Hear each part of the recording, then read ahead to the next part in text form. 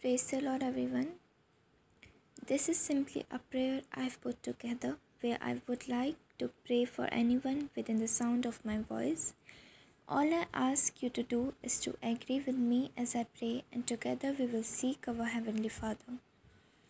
Please continue to meditate on this prayer for yourself.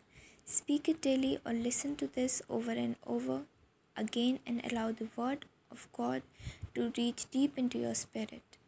So let us start with the prayer. Heavenly Father, we humbly bow our head and heart in prayer today. God, you are all powerful, and we know there is nothing that you cannot do. We praise you for how you have already blessed us, and we know you answer our prayers. We thank you this day for the wonderful opportunity given to us. We thank you for the gifts of life that our families and friends and the breathe in us. Thank you for the goodness and blessing over our life and the sacrifice that we may have life and freedom.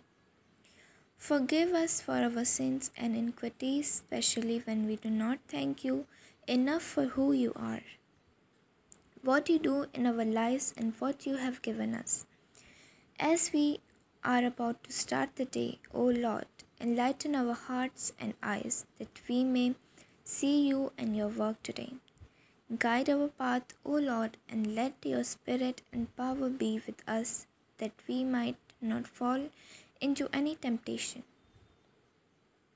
Give us wisdom and understanding to make the best choices. Fill us with your desires. Grant us a cheerful spirit even when things do not go our way. Guide and protect each and every one of us as we soak our body and soul into the blood of Jesus. Fill us with happiness and let your will be done in our lives today. I ask you to meet all of our basic needs and grant us favor as we strive to reach our goals. Give us health, strength, and safety as we power through the task for today. Let your light shine through us. I surrender to you, to your will. Mold and guide me to be a reflection of you and your everlasting love.